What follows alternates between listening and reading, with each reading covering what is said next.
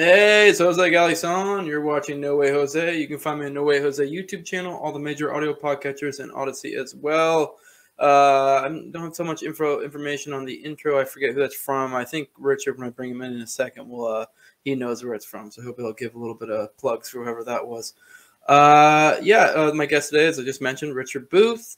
Uh, just for the rundown, it's the 26th right now. If you're watching on the 26th, you're watching the live stream. If not, you're going to get it roughly about a week or so later, depending on how the schedule works out. Uh, I think right now it is going to be a week. Uh, if you want to be able to have access to it in the meantime, you need to be a patron at patreon.com slash no wait Jose uh, 2020. Um, I think I may have said that wrong. No, I was right. I, I had a brain, brain fire there. But yeah, the lowest level is two bucks. High, highest level is 20. The $20 is the sponsors, and I'll read them off uh, every episode. I have C. McRae of the Whiskey and Tea podcast. Jeremy, you can follow him at Twitter at Jeremy Rhymes. He's in an Etsy store as well at etsy.com slash shop slash raising liberty. And I have Mikkel Thorsrud of the Expat Money Show. Uh, he's a guy, if uh, you're looking to move out of the country or do, you know, it's finagle, some sort of stuff like that, he's your guy. He does it for a job, so you can hit him up. He actually does that. Like, you, you look up his content, you can find him and pay him to, to, help you out with that.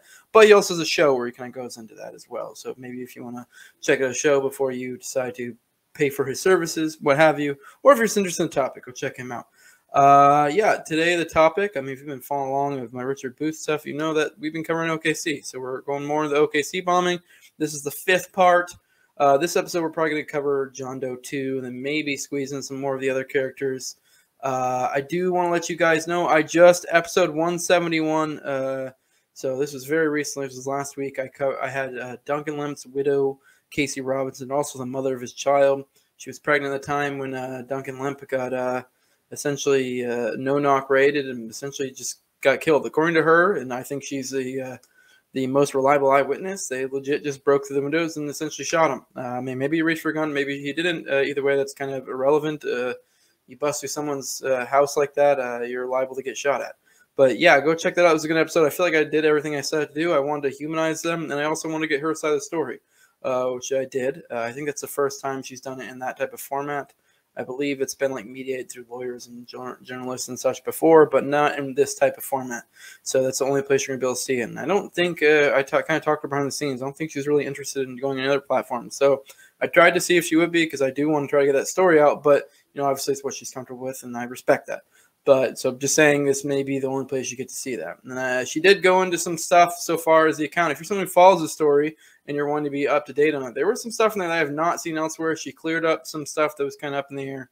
So I do think uh, whether you want to get the uh, human story, say you want to share it to someone to be like show how awful it is, whatever, or if you're just someone following the story, there's a there's a little bit of that for everyone.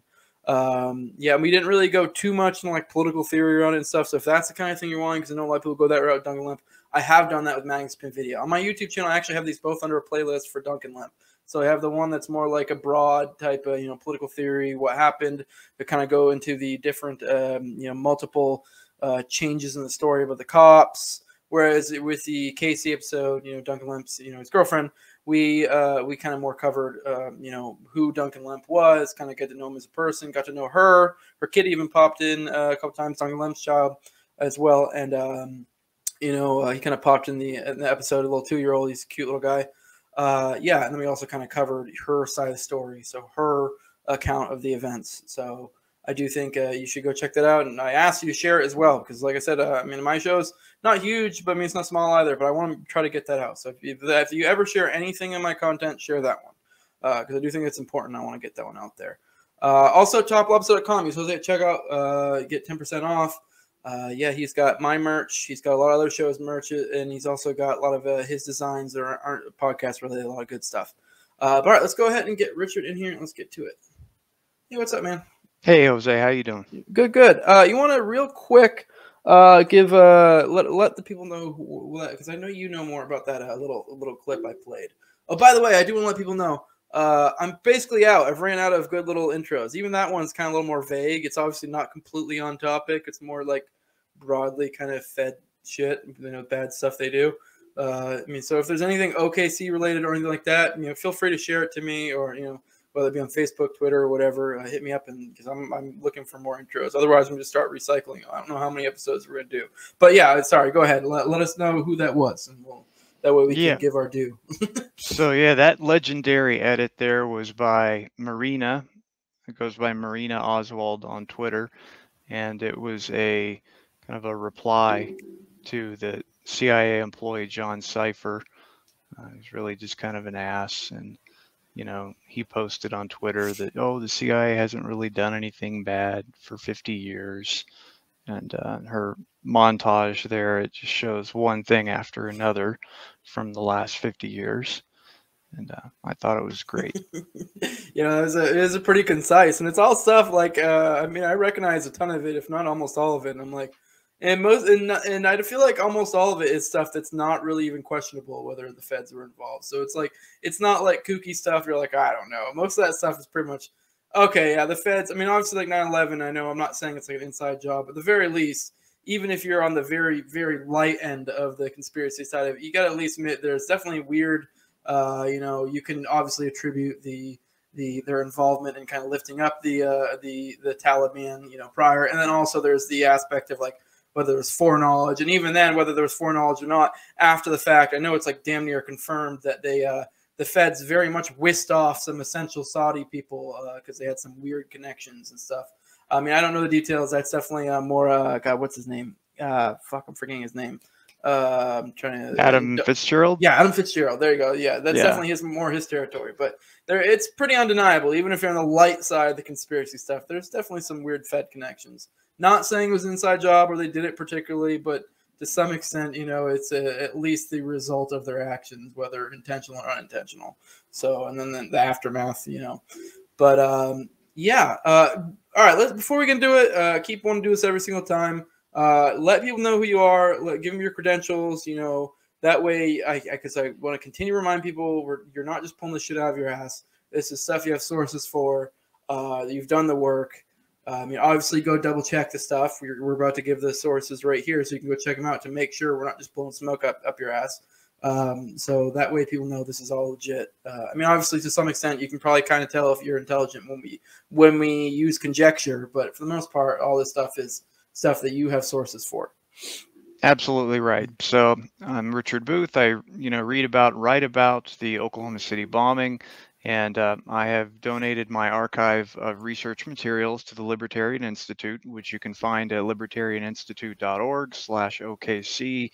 Um, you can find there many hundreds of news clippings, FBI documents, ATF documents, all kinds of documents that I have on this case that I obtained uh, from research, other researchers, uh, such as uh, Roger Charles, provided me a great deal of documents, and he wrote a book on the bombing called Oklahoma City: What the Investigation Missed, which is really kind of what started me down this path.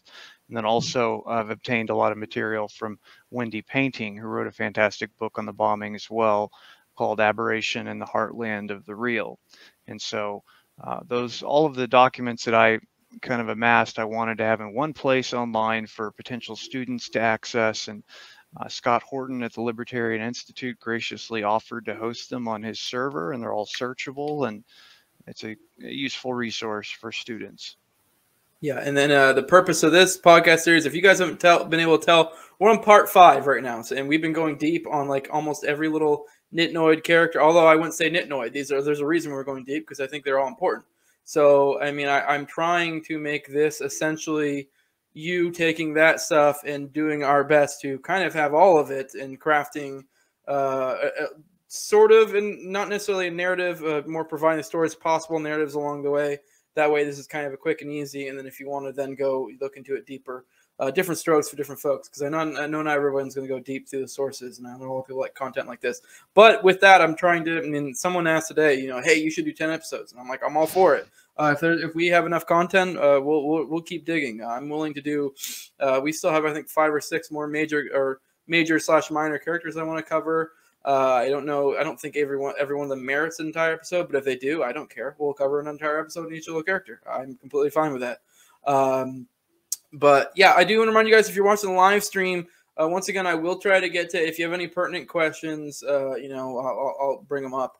Uh, you know, obviously, I see a bunch of guys in the chat. Uh, thanks for showing up. I see, I see my, uh, I see Junkie Jeff. I see uh, Kyle Howell, one of my uh, one of my patrons. I see Fire Pixie, see Anna Banana, see all you guys there. I see you. So if you have any questions, feel free to pop in. Uh, we'll, we'll, we'll gladly answer them. They'll probably be saved more towards the end.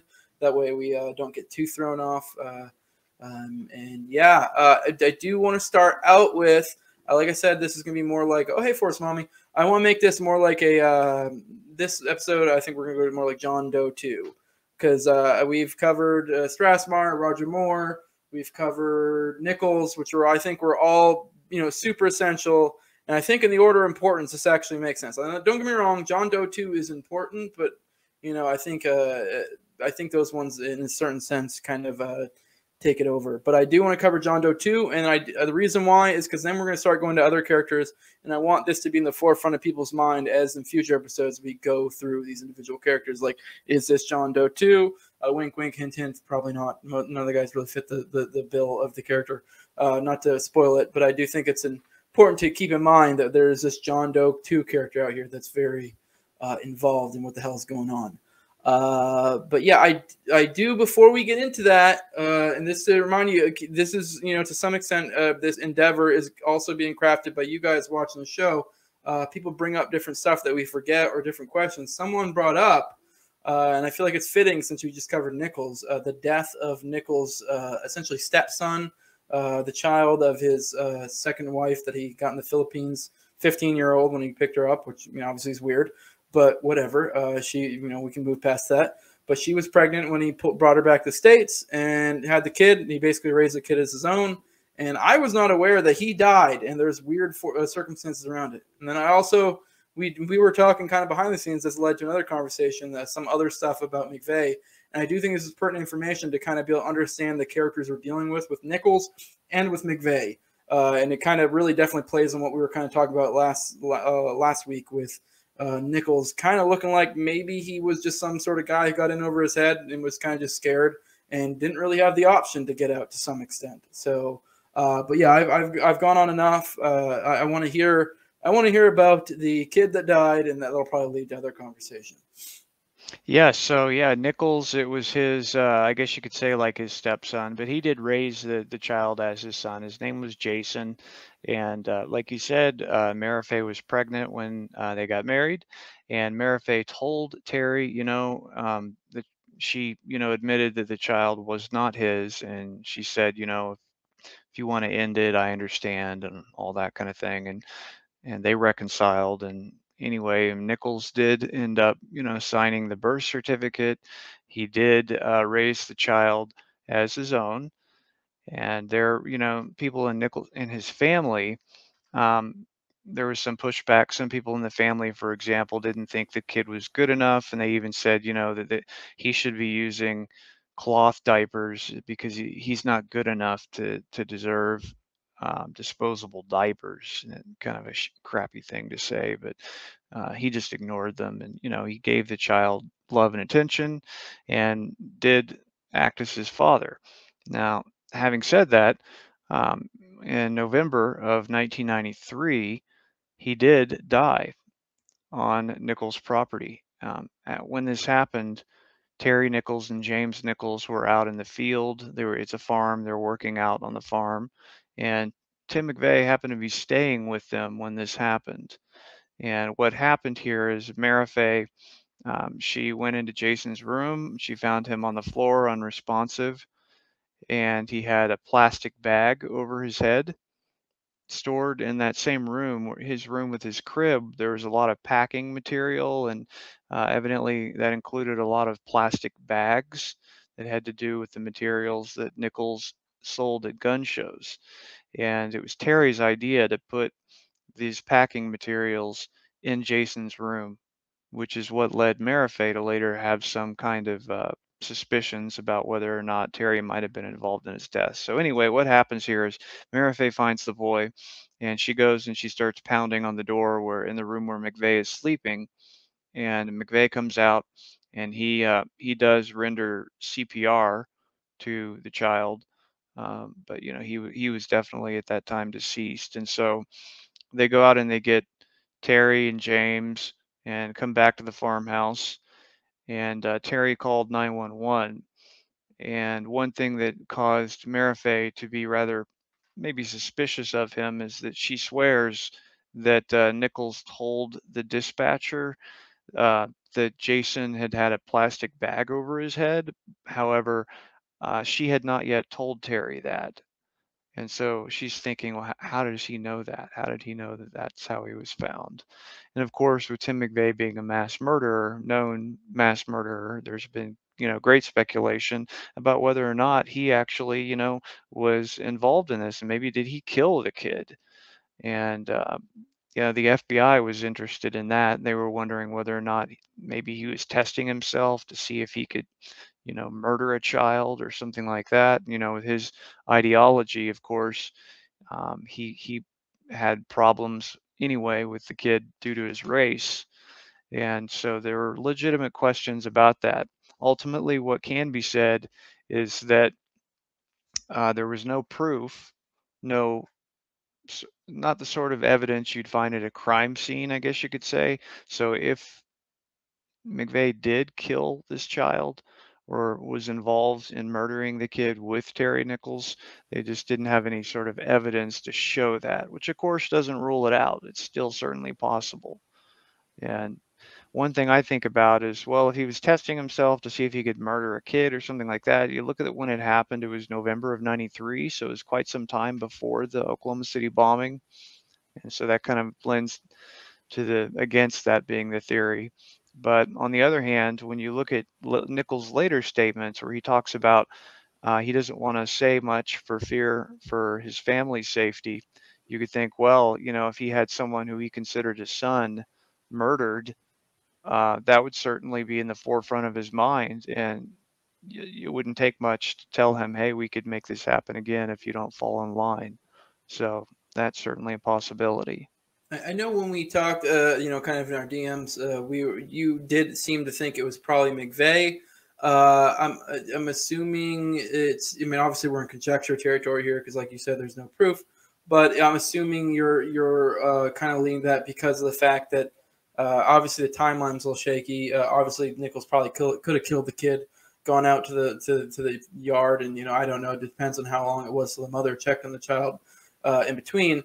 Uh, I'm assuming it's just because of the fact that he was out there, and also just kind of a rough analysis of the characters we're dealing with, uh, based on uh, you know how it's kind of been sort of shown how Nichols is. He like we he's shown, he's shown that he's very concerned about family uh, and it does kind of you know lead to the aspect of like this is why this guy uh, is so hesitant to talk. Is there anything else you have conjecture wise uh, of why you think with McVeigh aside from that?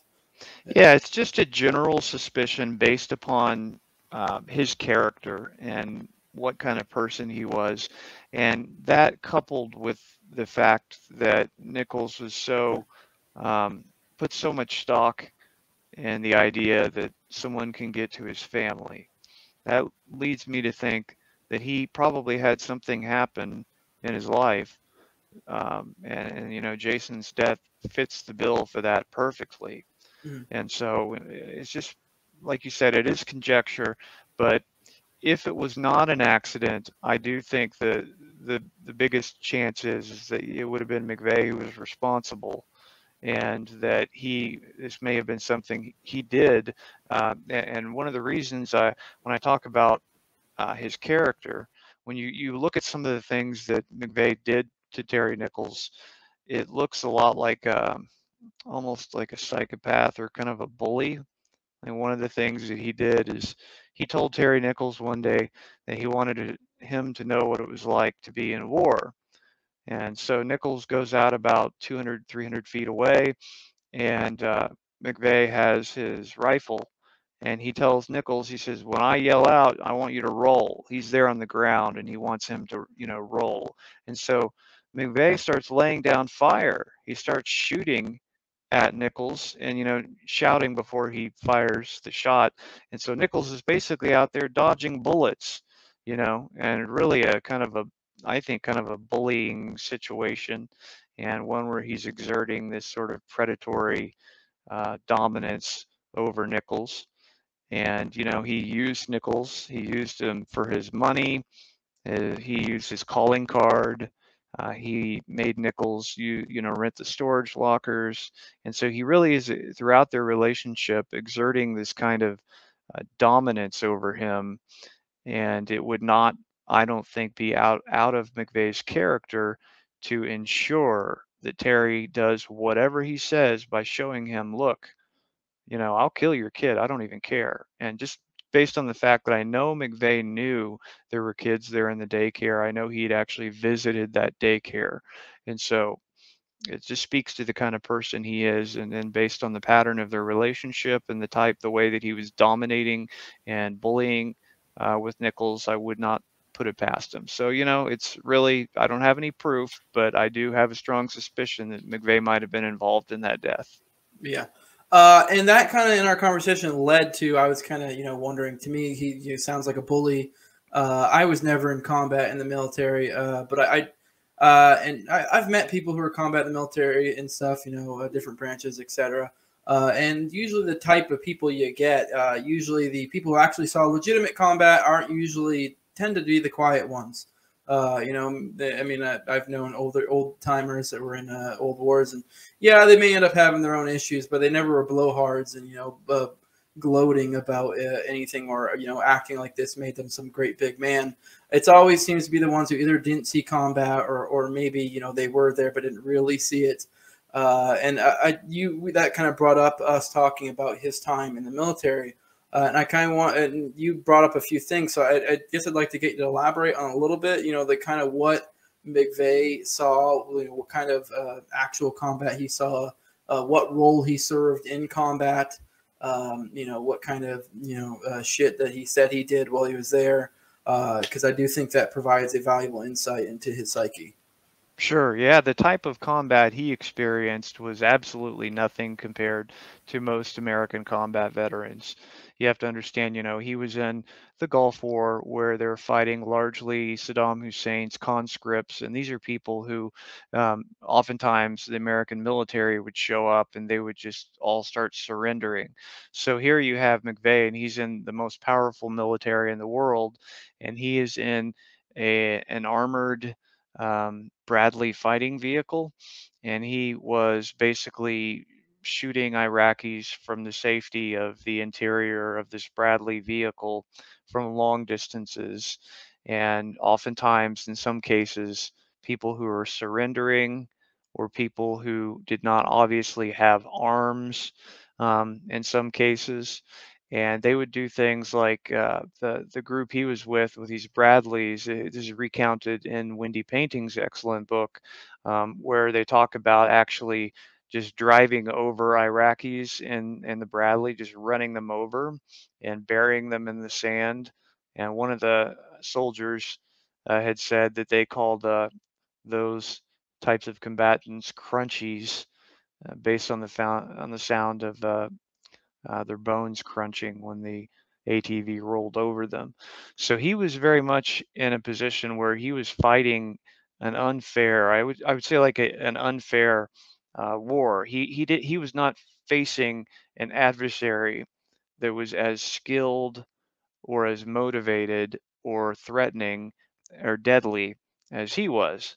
And so he was in a position where he was massively overpowered, basically. And uh, I, I wouldn't compare the things he went through with the sort of things that people went through in uh, Gulf War II under George W. Bush. I think that they were facing um, a much more skilled um, skilled group of combatants um, and like the different fighters you were seeing in Iraq and uh, during W, uh, that was a very different war uh, than his father. It was over pretty very quickly, the first Gulf War. And um, yeah, he didn't face anybody, I don't think, that was even remotely um, life threatening for him. Uh, I, I want to let people know uh, this. Uh, you know, obviously, there's no. I don't think there's a stream going aside, maybe on Twitter. Uh, uh, just so people know, it. I do stream these uh, to the Twitter, the Tower Power Hour Twitter, because I've had my Twitter removed too many times to keep it to mine. But apparently, they yanked it from YouTube. I just quickly looked at my email and it said something about violent content. I'm assuming it was the intro that did it.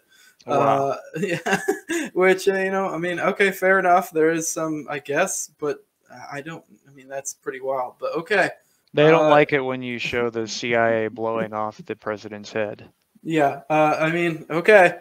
Uh, well, I guess I'll probably when I have to release this later, I'll probably have to uh, edit out the, uh, the intro, so uh, you'll you'll not get that. Uh, I'll probably leave it in the MP3 version, which but you whatever you won't be able to see it. Uh, I mean, I don't know if it'll. I might have to manually upload it to Odysee. I feel like Odysee probably won't yank it, so because I know usually they mirror it, but I don't know how that works if you get half an episode uh, if it'll go to Odysee. But all right, so we lost our live stream.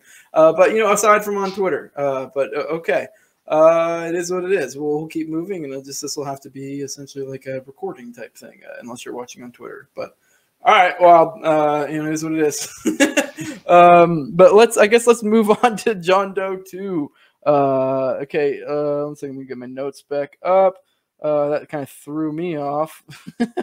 um, yeah. Uh, so let's start with kind of who who who was John Doe two? Uh, kind of like how did how did we even know there was a John Doe two, etc. Yes, so I think John Doe 2 is an important figure, pretty much just as important, I believe, as Andy Strassmeir and Roger Moore.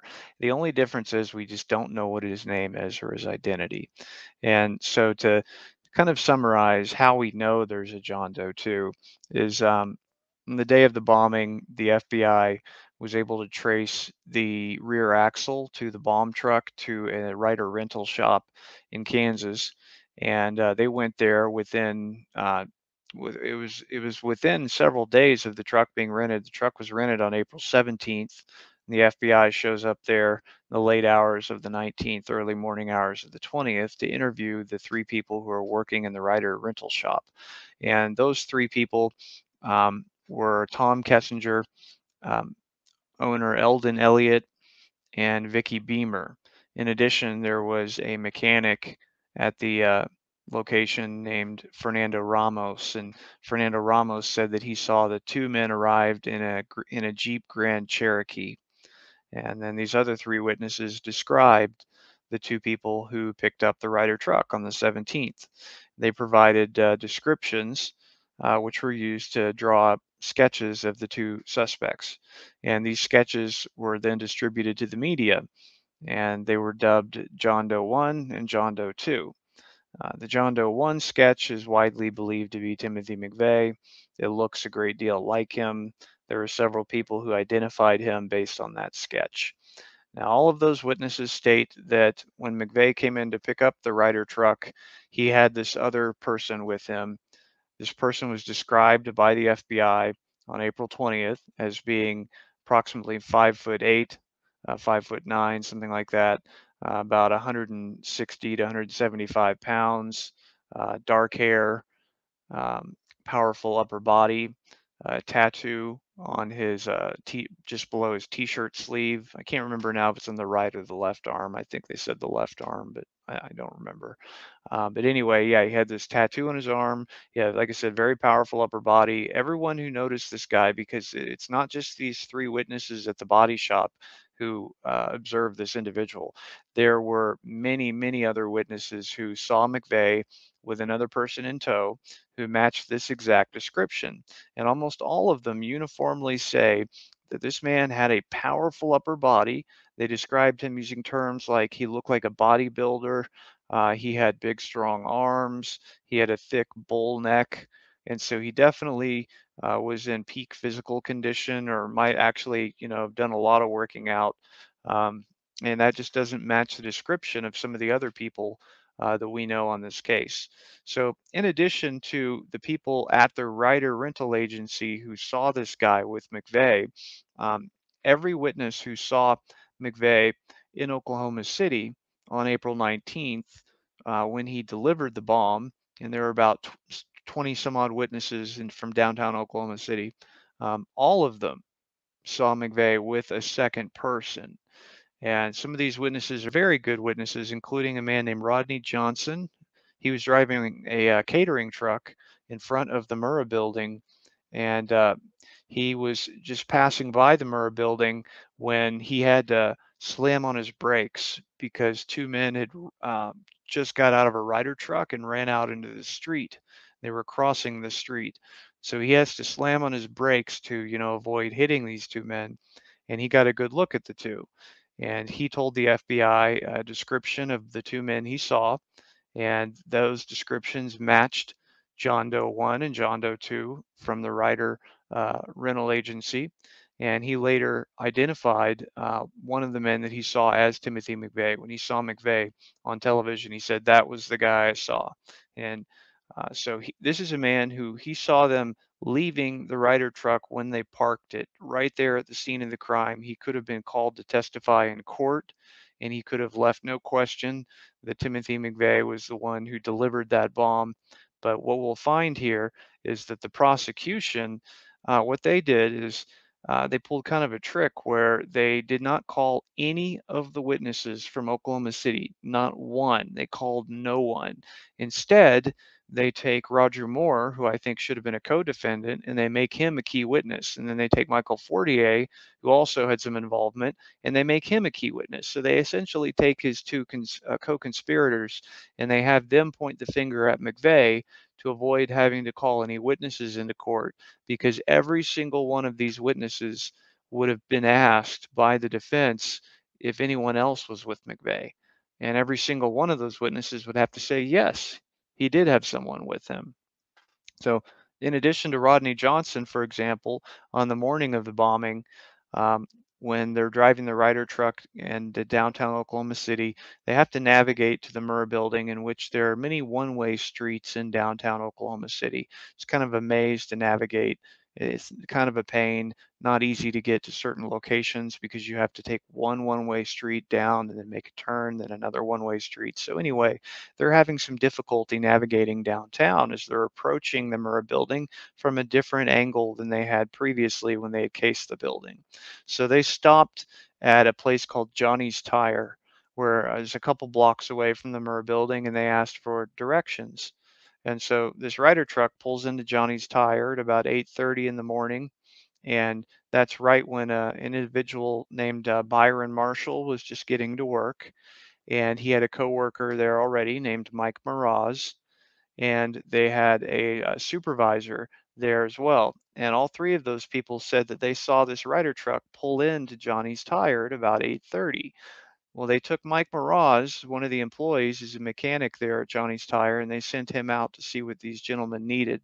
And in the truck was Tim McVeigh. He was driving, and he was asking for directions on how to get to the Murrah building from there.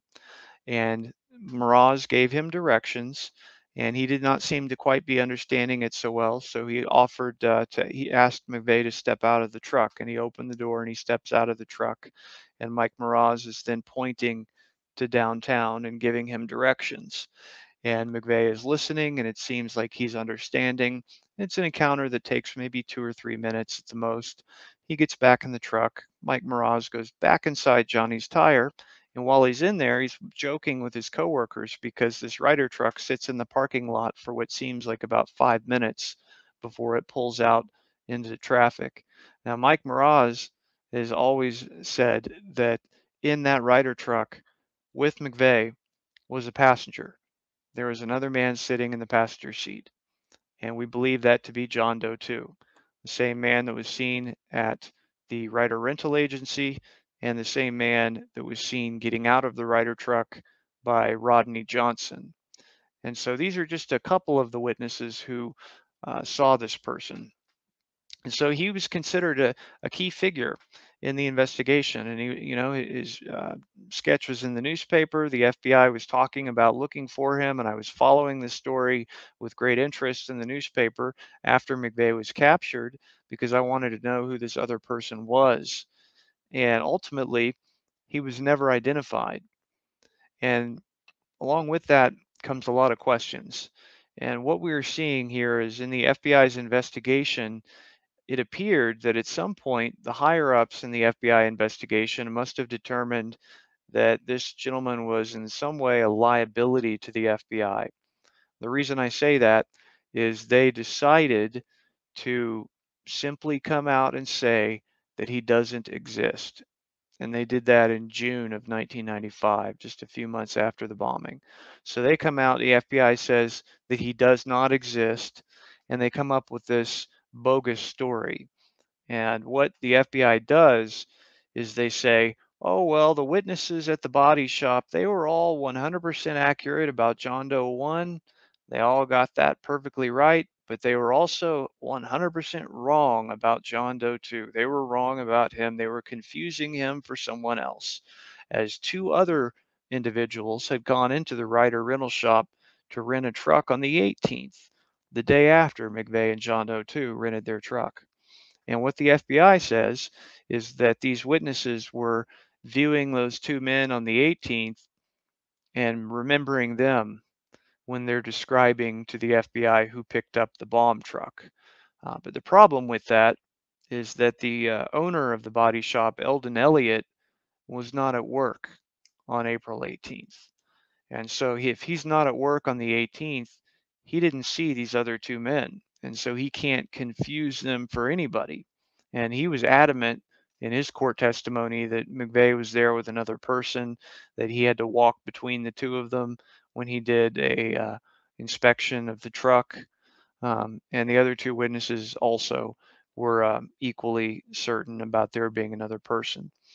And then also, uh, one thing to note is that when the FBI did their preliminary, or well, the, the Justice Department did their preliminary hearing on April 27th to show that they had reasonable cause and suspicion for proceeding uh, with with uh, um, uh, charges against McVeigh. Um, they outlined a number of uh, these witnesses that I've talked about. Their chief witness that day was um, FBI agent named John Hersley, and John Hersley was questioned under oath by Merrick Garland, our current Attorney General. And Merrick Garland uh, was asking him questions about, you know, what did you see and or what did your witnesses see? And uh, what what he's basically doing is John Hersley is saying we have this witness who saw McVeigh in the truck. We said we have this witness who saw McVeigh driving the truck. And when that happened, the defense attorney asked. He said. Um, he said, "Oh, you, said uh, individuals in the truck, plural. Was there more than one person in this truck?" And Merrick Garland objected he objected to that, and that objection was overruled. And so John Hersley was forced to answer that question, and he did and said, yes, there were two people in the truck, and Mr. McVeigh was the driver. And so he is there under oath, uh, being questioned by our current Attorney General, and he's saying with certainty that there were two people in the bomb truck on April 19th.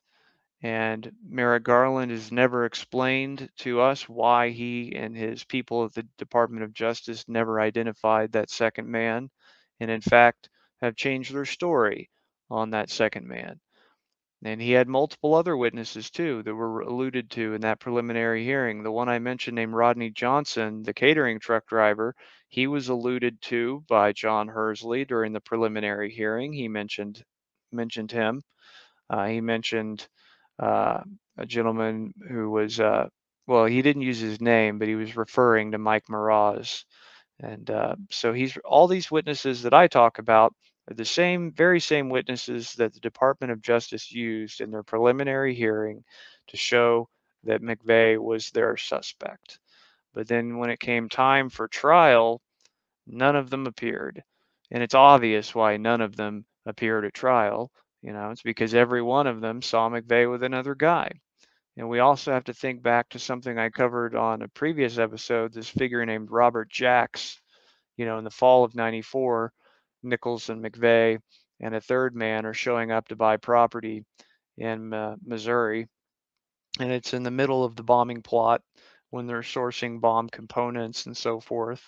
And this guy is a key figure based upon the fact that the witnesses say that he was the one doing all the talking. He was the boss of the group. He was like clearly the leader. And he's there in the middle of the bombing plot. And that, that there is another person who's like John Doe 2 insofar as that he's a key suspect who has not been identified. And there are some similarities between this Jacks figure and this John Doe 2. They were both uh, very muscular. and witnesses described them as having a military bearing, like a, a presence uh, that reminded them of someone who might be active duty military. And so these are the basics of what we know about John Doe 2. Uh, but what you can say as well is that when uh, McVeigh was driving into Oklahoma City starting on the late night of April 19th, uh, or I should say early in the morning on April 19th, like at 12 midnight, one in the morning.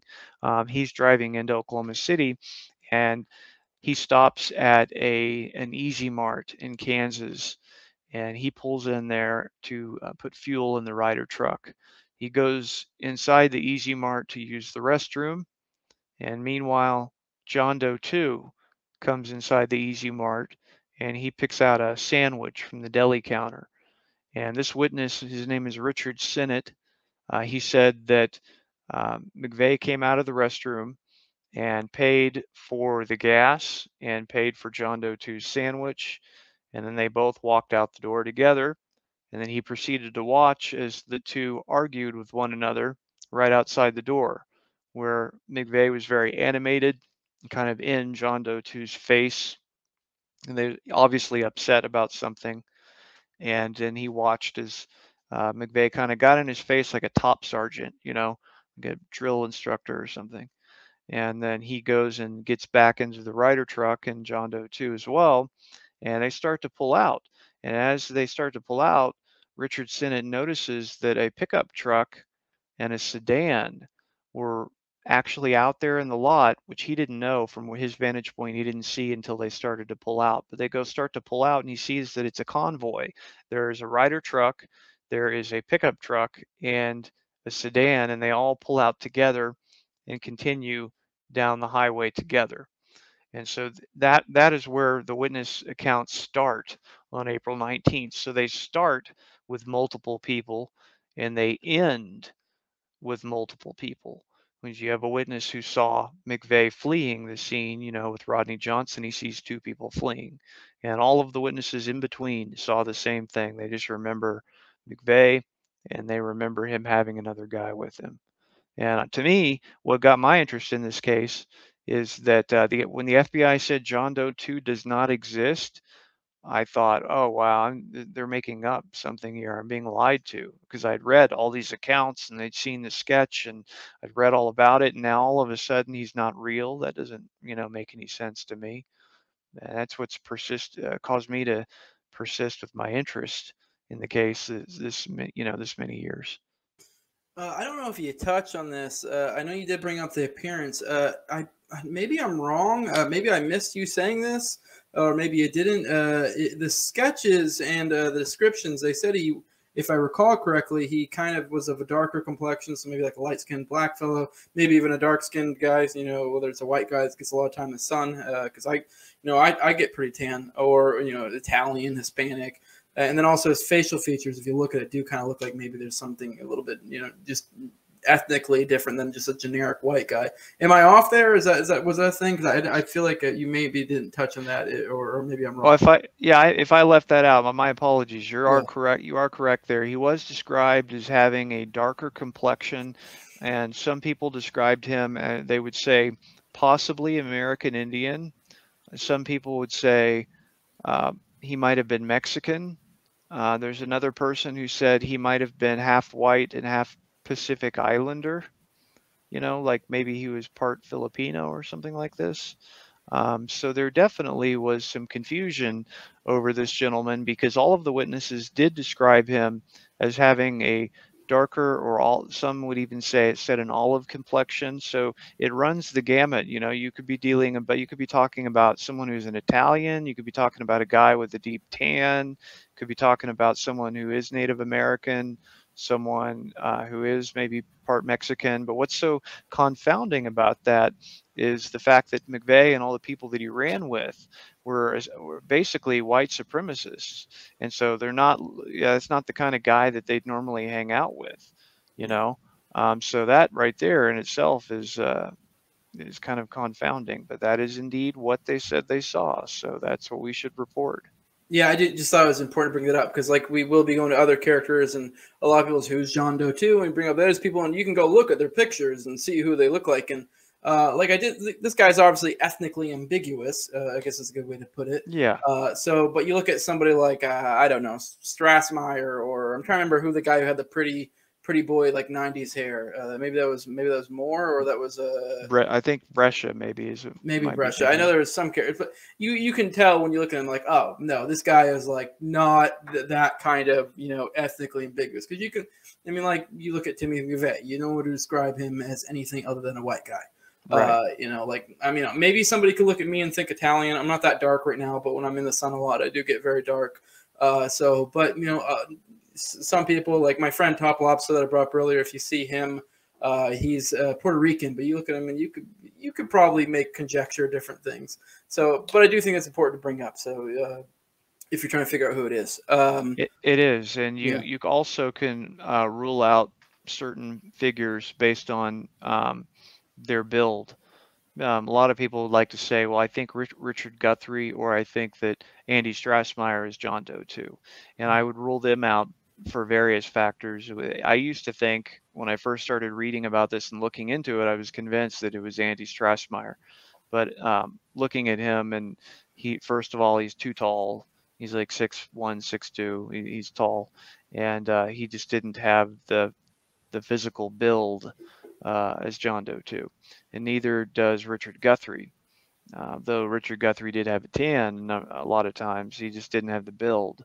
And my thought is, I tend to think that whoever John Doe 2 was, I think that he was an informant or a provocateur of some kind, based on the fact that the FBI behaved in a way that they would not behave for a regular criminal defendant. Uh, if you have someone who is a criminal that you're after, you're not going to start making excuses for them. You're not going to say that they don't exist. Uh, you're not going to. In fact, I have a document that was sent by the uh, San Francisco field office, and it was talking about uh, some other unrelated matters. It doesn't. Well, it doesn't matter really what it was talking about, but there's a section there at the end that says that, um, in view of the fact that the Oklahoma City Command Post has directed all offices to hold John Doe number two leads in abeyance. I have no further, you know, no further stuff on this matter. And I actually had to look that up when I first saw it. I didn't know what abeyance meant, but uh, yeah, I guess it means that uh, to hold hold leads in abeyance means we're we're not pursuing them. And this was dated May May of '95. So in May of '95, we know that the Oklahoma City Command Post for OK Bomb directed all field offices to stop pursuing John Doe 2 leads. Then, about a month later, they come out, well, less than a month, 15 days or so, they come out and say that he doesn't exist with his cover story for the American people. So not only are they covering up who he is uh, for the American people, but they also seem to be um, making it hard for the street agents in the FBI because you got to think about it this way. In the, in the FBI, you probably have a lot of really good agents that are just really, they just want to solve crimes or whatever. And these street level agents maybe don't know anything about any sort of conspiracy. And they're going to keep pursuing these leads unless they're told otherwise. And so someone high up in the FBI investigation who realizes that this guy's a liability, that he's some type of informant or asset, he actually would have to direct those agents to, hey, stop, stop doing this, you know, and he doesn't have to give a reason why. When the FBI tells you to do something, you just do it. All right, so you say May the uh, the uh, you stop looking into it order comes out. June Yes. they just drop it all uh, officially drop it all together, uh, and then but the it was a month prior to May I believe that uh, so April uh, I guess roughly was was when OKC the bombing happened. Right? right. A- April Okay. 19th, and you're talking like maybe two and a half to three weeks later, they're telling people to stop looking for John Doe 2. Meanwhile, publicly, they're pretending that they're still looking for him, which they continue to do for about a month.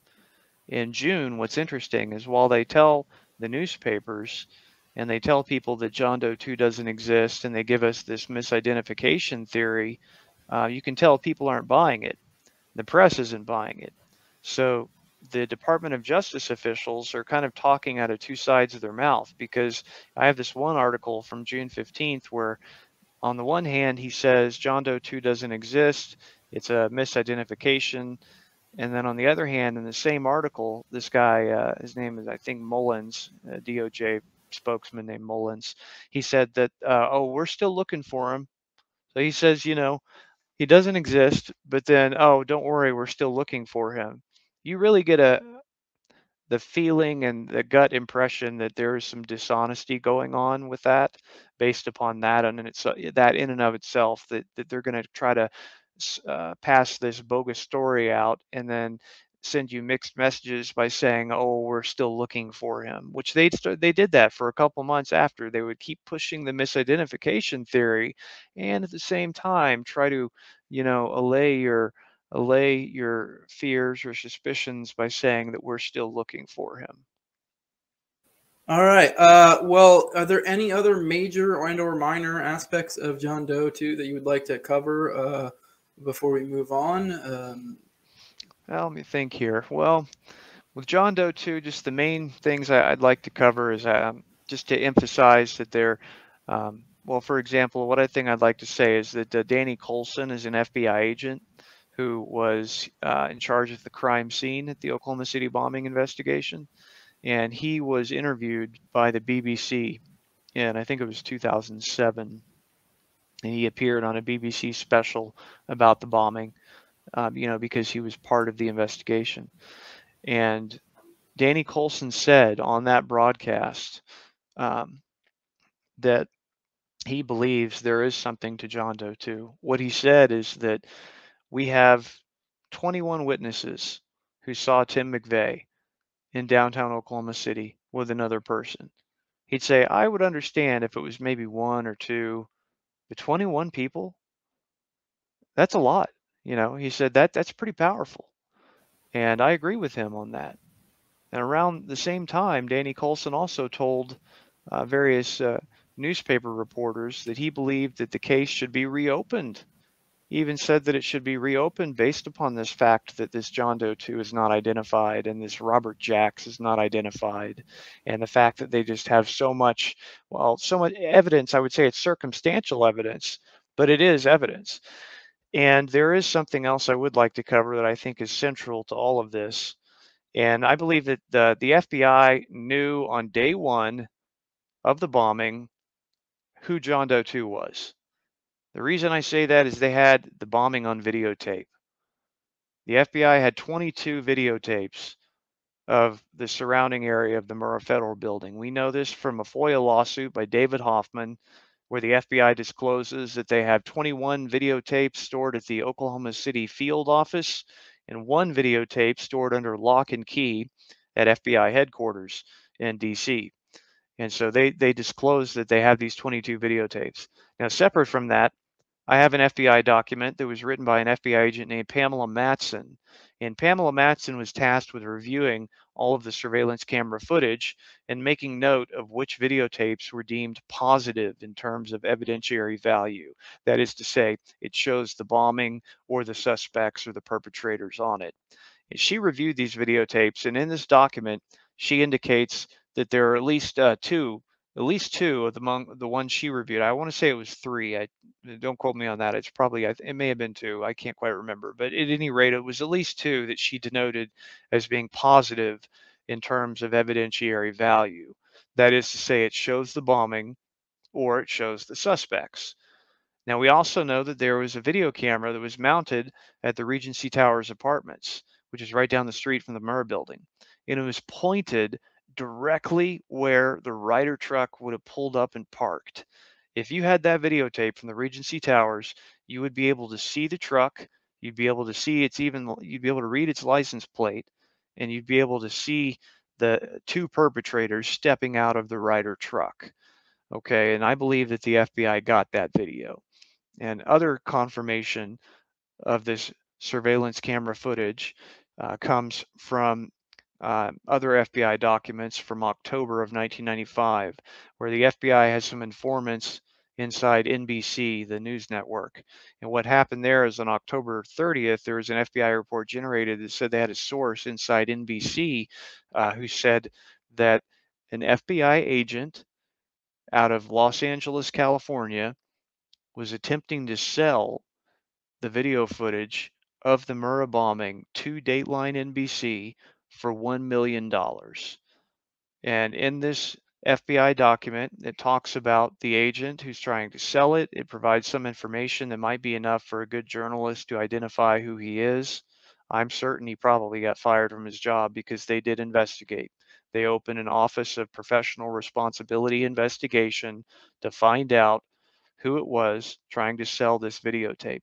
Now, in these documents, there are several of them uh, from October uh, 30, uh, October 29th, 30th, 31, um, talking about this. And what we know from these documents and subsequent investigation is that the agent who was trying to sell the footage for $1 million screened this footage for Dateline NBC at an Orange County sheriff's home. And it says in, uh, in these documents that the footage that was screened was a compilation tape. So it showed multiple camera angles including up to and including the bombing itself, even showing the explosion.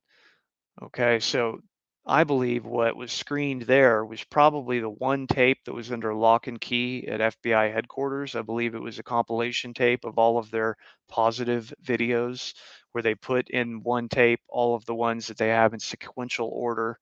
And I believe that was probably what was screened there. And uh, this video was alluded to briefly by Danny Coulson in 1999. He was on Book TV talking about his memoir. And when he was talking about his memoir, a book called No Heroes, he said, and this is on, on videos, the videos on YouTube, I put it on my channel. Danny Coulson says uh, about McVeigh, he says, We had him on videotape. We had videotape of the truck pulling up a couple minutes before nine. And so he admits it. And there's enough circumstantial evidence there coming from the FBI's own documents that shows that they absolutely had videotape of this bombing, that it necessarily would have shown what all of the witnesses saw, which was two men get out of the Ryder truck, so we would know with certainty that McVeigh had someone with him. And that was published in the newspaper, in fact, October 28th, 1995, headline story. This was published by Associated Press all over the United States, papers all over the US. It said that uh, um, sur surveillance videotape uh, shows passenger and Ryder truck. And law enforcement sources quoted in the article said that the tape is too grainy for you to be able to make out his face, but you can see that there's a passenger sitting in the Ryder truck with McVeigh, and that it comes from the surveillance tape. And if you go back and you read the news stories on the bombing, you know, that I have on the Libertarian Institute, these talk about the surveillance tapes. They talk about law enforcement is quoted talking about them. Law enforcement is quoted talking about the fact that there are two people on tape. They're quoted talking about the fact that they have a second getaway vehicle that they see in downtown Oklahoma City that has McVeigh's license plate on it. And it's it's not the the Mercury Marquis; it's another vehicle. And the, there was speculated at the time in the newspaper that John Doe 2 might have made his escape from downtown Oklahoma City in this secondary vehicle. Um, and so, yeah, the surveillance tapes, I think, are also central to proving that there was another person with McVeigh, and that person, I believe, was this John Doe 2 figure.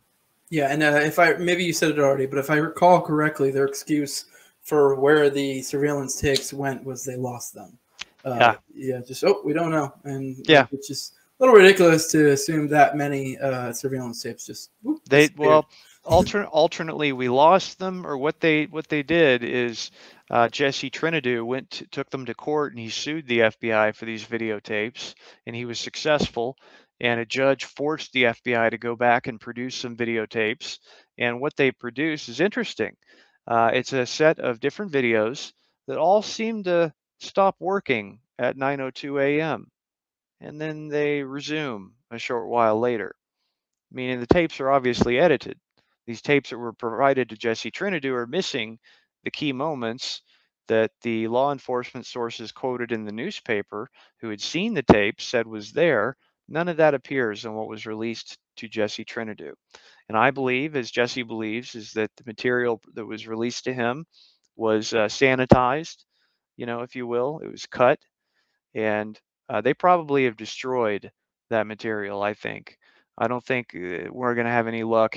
Well, here's what's going to happen. One of two things, and I've been worried about this for some time, is I believe that it's possible at some time we might see a video appear, and this video will show one person getting out of the Ryder truck. It'll show McVeigh, and that's it. And I think it might be basically a CGI'd or deep fake type deal where it's been doctored. I could see that happening. Just the level of corruption we see here. If they're going to do something like this and cover up, who's to say they wouldn't do something like that? And so that's something that I anticipate might happen. And so if any new evidence or tapes all of a sudden appear, I'm going to be suspicious right away, especially if it doesn't show what the, the documents say it should show. Yeah, at this point, it's damn near an indisputable fact there was a second person, in my opinion. But uh, you know, I think you may be right, and I would uh, hazard. I know it sounds crazy to people, you know, paying attention that oh my god, you know, that they would doctor it to that degree. But I would implore you. Uh, okay, this sounds silly. Go just go to YouTube, type in uh, I forget what it's called, but Matt Stone, Trey Parker, deepfake. They have a little show they did just for funsies, you know, yeah. which I'm sure it probably wasn't high budget, uh, where they just did deep fakes and they just made little comedic skits where they had people look like Biden, Trump, uh, whatever, just different different figures, Elon Musk, whatever, and just made them say ridiculous stuff and pretend it was them. And it looks, I mean, it, there's some points you can tell, uh, but I mean, there's it's this is just them, you know, just for funsies throwing together their own little you know, probably low budget deep fake. And deep right. fakes are completely legit uh, to this day. So there's no reason why they couldn't doctor it and make that happen. Sure. Well, sure. And if, if you think too about the videotape quality, you know, in 1995 on a surveillance camera, it was probably like 320 by 200. Uh, you know, as far as a re- poor resolution, it would be real easy to doctor something like that. And uh, yeah, that is taking it to an extreme level. But I think if we ever reached a point like in Jesse's case, where the judge has been consistently ruling in his favor and forcing the FBI to produce things, I would not put it past them for them to produce something that was bogus. Yeah, that or in 50 plus years, we may just get the full on legit thing, but no one cares at this point because that's how it works with all this crazy stuff. You know, Mockingbird, MK Ultra, Northwoods, you know, stuff gets released, you know, decades later when it's just no longer a thing. And then, you know, people who bring it up sound crazy because it's just become the, uh, you know, national discourse of the opposite right. or the different or, or not that. And so you sound crazy because most people don't look into these things. Right. So, Absolutely. These are, these are a lot of, these are things that the feds, you know, fully admit, but then act like, oh, but we don't do that anymore. Okay. Right. right. Just like the, the video you played there at the beginning, it had John Sipher saying, "Oh, well, yeah, that was stuff we did 50 years ago, but not that mm. was the early days." Yeah. But you know, one thing I've thought is that I, I think there probably are some retired FBI agents out there who have got a VHS tape down in their basement or up in a closet that has the surveillance tape footage on it. The reason I think that is that you had an agent here in Los Angeles who was not even assigned to the Oklahoma City bombing, who went into the evidence, made a copy of the surveillance tape, went and tried to sell it. So if you have one guy doing that, you know, who's to say other people didn't also make copies? And there was an article about this in a magazine that was uh, an article about the whole surveillance tape attempted sale. And they quoted an FBI agent in that article talking about this. And he said that there was one agent out of the Oklahoma City office who was running off a bunch of dubs of the surveillance footage for uh, like friends and fellow agents. And he said he was shocked in 1995, he was shocked that it had not yet appeared on like hard copy or a current affair because of the number of people who had access to it. So I think what happened is when the, the FBI's Office of Professional Responsibility, that's like their own internal affairs or FBI's version of HR, I think they investigated to see who every person was who had access to that surveillance tape. I'm sure they interviewed every single one of them. And I'm sure they made it very clear to every single one of them that if should this tape appear outside of the investigation, that they would be prosecuted.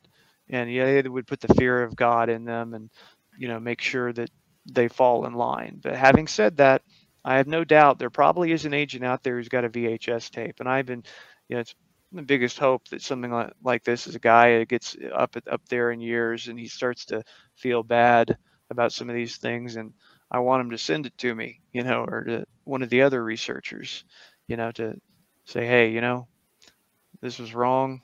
Here, you know, I'm on my way out. Take this and do what you will with it. Yeah, a little pro tip for anyone out there. Uh, this kind of touches on the uh, Operation Mockingbird I mentioned earlier. If you ever have stuff like this, don't go to the establishment media. Just don't. Right. You're you're that's a uh, which I mean it's kind of funny. A Fed went to them thinking that would work, but he, I guess that kind of uh, goes to you know the ignorance of you know how, the tiered knowledge how that works because uh, I mean, obviously, I'm not saying 100% it was some sort of uh, Operation Mockingbird type thing, but I mean, we saw with the, uh, you know, I think it was like a year or two ago, there was, I forget which major network it was, but there was that person who had that leaked video that came out that was her fully admitting she had all this stuff on Epstein and she was frustrated that the network wouldn't let her go onto it. And I guess the big thing was the so called thing was because they were worried it would affect their, uh, uh, their uh, relationship with the with the royals in, in England. Uh, although, I mean, like maybe that's simply the case. Maybe it's that simple. I mean, so it's obviously explainable with the easier ways of just they don't want to fuck up, you know, some of their their big connects and stuff. But also, Operation Mockingbird was the thing. I implore people to go look into that. Uh, the establishment media, and yeah, obviously they say, oh, we don't do that anymore. But it's like, okay, uh, sure. I mean, you look at major networks. Oh, they do now, it. It's, yeah, there's just a different way of going about it. Yeah, John Brennan, I believe, is a is a contributor for one of the major networks. I forget, and there's multiple mm. feds that are contributors, and it's it's they don't even really try to hide it too much, honestly. Right. So now, yeah, nowadays they don't hide it. You know, yeah. they they use their credentials as like uh, as if it's part of their resume instead of trying to hide it. Yeah. You know, and you know, you're right about this with the uh, surveillance tape. Uh, it's funny that the guy he wants his million dollars. He thinks he's going to get rich and retire, and he takes it to NBC. And the irony is, is that the FBI had an informant at NBC.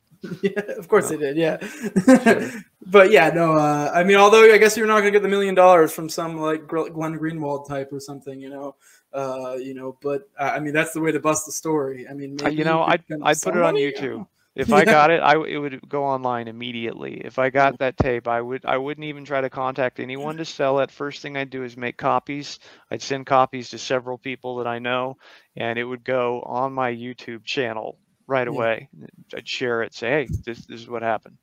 Yeah, uh, I'd definitely back it up on other platforms. You know, as it's seen with this episode. Yes. Uh, although I'm not saying there was necessarily Fed stuff that happened this episode. It little there were violent scenes in that, although they were like Indeed. historical. So it's like technically, if I was some big wig, I probably could fight that with YouTube, and maybe they would keep it because I think you probably could argue there's a case that it doesn't violate their community guidelines because of the historical, educational side of it. But whatever.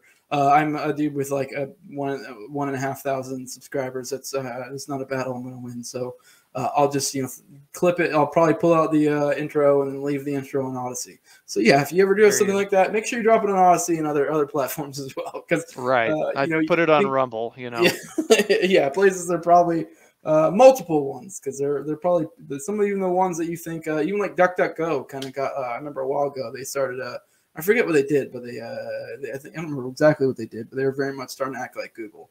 So, point being, uh, yeah, uh, don't don't trust any establishment uh, type stuff. But all right, uh, we've covered John Doe two. I guess to finish out this episode, and it, it weirdly kind of fits, you know, John Doe two kind of being heavily implied as some sort of foreman or something. Uh, let's talk on Carol Elizabeth Howe because uh, that was a character I actually just found out about. I wasn't planning on talking about. Uh, I believe she is an out and out Fed. Uh, there's not even an argument about it. Uh, and there are some weird ties with her and the gang of uh, the McVeigh folks, essentially.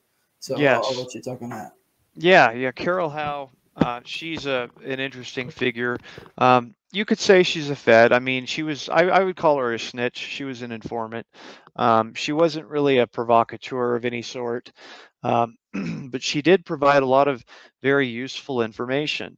So her story is a kind of an interesting one. She was from kind of a rich family in uh, in Tulsa, Oklahoma, kind of like a, a preppy, popular type girl, but she had kind of a wild streak in her. You know, she wasn't one of these preppy girls who is like all the others. She was more kind of wild and and uh, what she did, I guess, is that um, she claims that she was assaulted in a park by two African American men, which supposedly radicalized her. And so what she did is she reached out and contacted a gentleman by the name of Dennis Mahon. And Dennis Mahon is a guy who ran what, what, something called White Aryan Resistance in Oklahoma. And uh, people in Tulsa know who he is because, you know, he runs for mayor every time that comes around. That election comes around, he always runs for mayor. Of course, he always loses, but he always runs. And he's just known as a local loudmouth and a racist. And he had this dial a racist hotline where you could call this number and he had a recorded message every day. And so she started calling dial a racist and she eventually got in contact with Dennis Mahon. And uh, when she got in contact with him, they started talking to one another. They started seeing one another. She kind of developed a relationship with him. Well, Dennis Mahon started kind of grooming her to be like this emissary and face of the white separatist movement for women. Uh, because he, as Mahon said, a lot of their women were very uneducated and they'll go on shows like Geraldo or whatever and curse and sound stupid. And whereas Carol Howe is very uh, intelligent. And so she, he thought she came across very well. So one thing to note is that at this time, Dennis Mahon, uh, he had a trailer at Elohim City and he would go and stay there for long periods of time. He started taking Carol Howe with him. And so she was at Elohim City in the fall of 1994 at the very same time the bombing plot was formed there by Andy Strassmeir, Tim McVeigh, um, and these others who we believe were involved. And so she was around when these meetings were happening, and she was also fraternizing uh, with all of the key suspects and the key people there. So she was in a very good position to get information. Evidently, uh, Dennis Mahon was uh, started to be abusive with her, and uh, she um, was resentful of that. And I don't know the exact details on this. I'm I'd have to like you know study up on it because offhand I just don't remember. But ultimately, what it comes down to is because of the way he was treating her and all this, uh, she volunteered to the ATF to like you know inform on him, and so kind of a vindictive girlfriend type deal. So she goes to the ATF and they recruit her as a confidential informant and open a case on white Aryan resistance. And they are asking her lots of questions and they are asking her um, or tasking her, that is, with going to Elohim City and doing things like writing down license plate numbers, getting the names of the people who are going there, telling um, telling what they're saying. And she did that. She gave them the names of everybody who was there. She told them that Andy Strassmeir was talking about assassinations, mass shootings, bombings. Uh, she said that uh, Dennis Mahon and Andy Strassmeir went with her in the fall of 94 to case the Murrah building. And they did that about three times. They were looking at targets for a bombing. And this is around the very same time that this meeting happened, you know, in the fall of 94, where Andy Strassmeir and Tim McVeigh and the others planned out this whole thing. And so she was right there in the thick of it. And her investigation eventually kind of went inactive, I guess. And what happened is um, when the bombing happened, um, she was brought in on April 19th. She was brought into the FBI command center and she was debriefed. And a debriefing is where basically they just ask her questions. So they're asking her all these questions. She's answering and telling what she knows. And the authorities, um, they begin to believe that um, there's a connection between the people she was reporting on and the people who carried out the bombing. And the ATF wants to send her back to Elohim City because they believe that suspect number two, John Doe 2, is, might be at that location. And they also believe that people at Elohim City were involved in the bombing through conspiracy. And so they want to send her back. And something interesting happens. Um, her identity is compromised. So before she can go back to Elohim City, uh, an FBI agent, I want to say it was Blanchard. I could be wrong, but I think it might have been Blanchard. Anyway, uh, her identity was compromised as an informant by him in some of their internal communications that were not closely held. And so they had a legitimate fear that that information might have got out. And so they actually had to um, they had to prevent her from going back to Elohim City for out of fear for her safety. And then after the feds blow her cover, they arrest her. Right? So they go and they arrest her and her current boyfriend and they try to take material that she had confiscated from Elohim City, which was uh, pieces of uh, grenades that she had Dennis Mahon on tape. He was taking these inert grenades and he was making bombs out of them. He was packing them with explosive material, basically making them active again. So she had this material that she was gathering for her ATF investigation.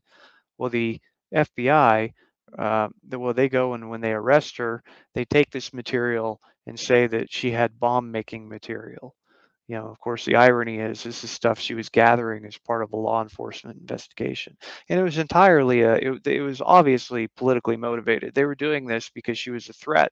She was a threat in some way. She was talking about things that the FBI didn't want people talking about. They didn't want to hear anything about John Doe 2. They didn't want to hear anything about other accomplices. They certainly didn't want to hear anything about uh, law enforcement being investigating these people in advance. They, they wanted to hear none of that.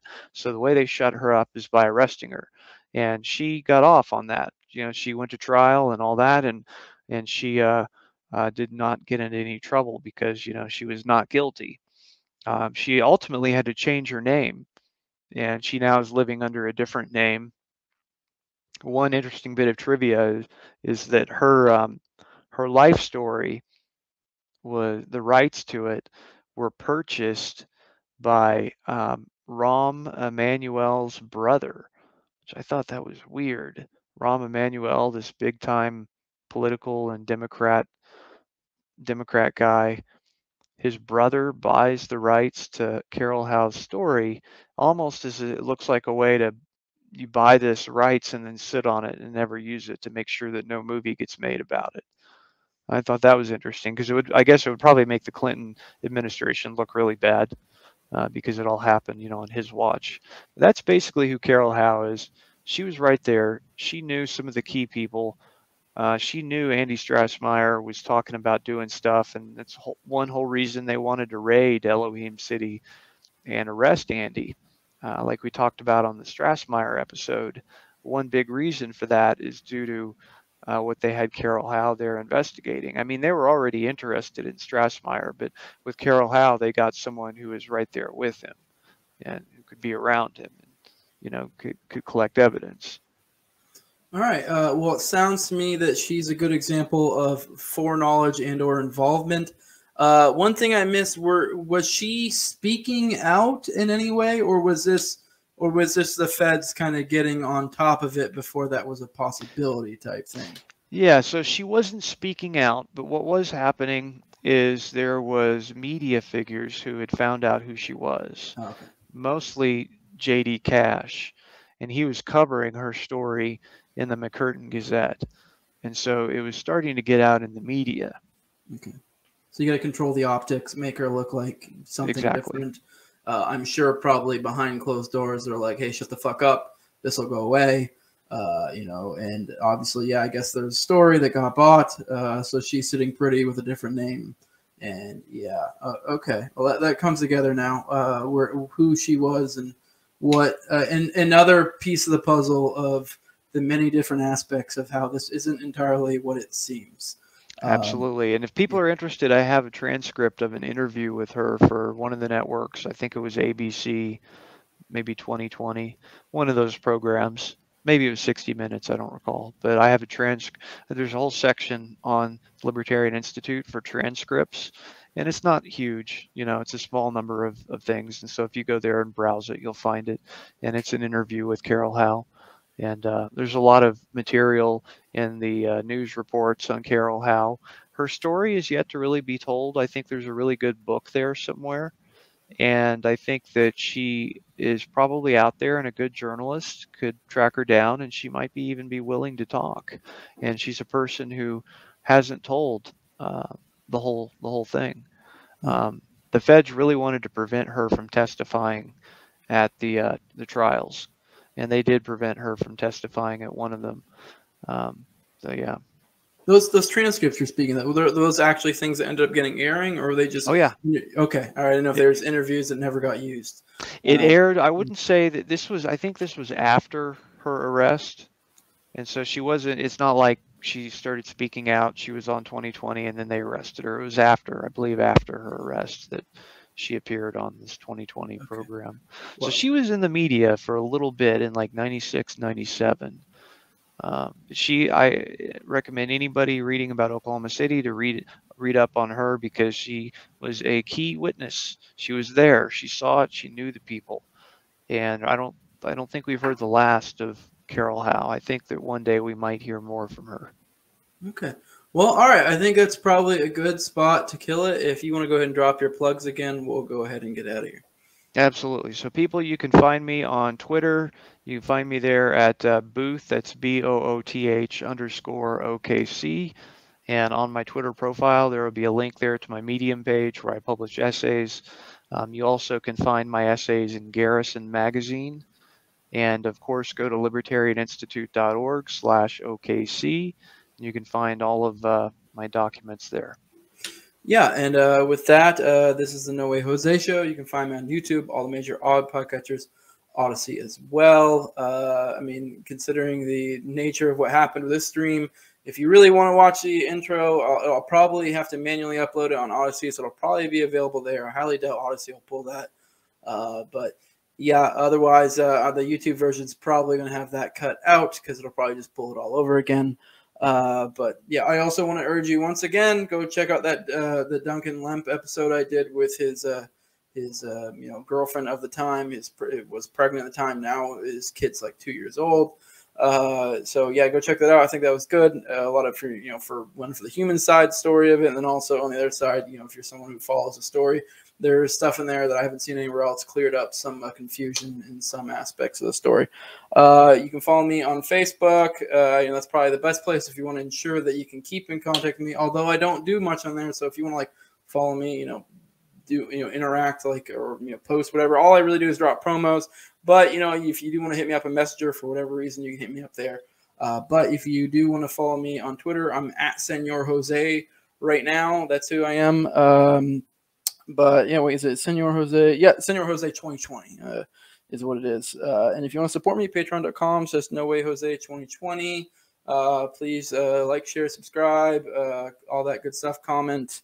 Uh, you know, as you can tell from this ongoing series, a lot of it's been sh- shaped by you guys' interaction with us in the live streams or in the comments on social media. So if it's something that's interesting that we forgot or or just a you know even if it's something that we didn't really feel like bringing up for whatever reason if it's something uh, that's interesting or you guys are interested in we'll uh, we'll address it uh, we'll do as many episodes of these as we need to uh, till we cover you know feel like we cover everything that was really pertinent but with that, we are out. Appreciate your time, Richard. We'll probably do this again, you know, next week or something like that. We haven't scheduled it, but uh, yeah, I hope to see you guys the live stream at the next one. I hope it doesn't get nuked. So appreciate it.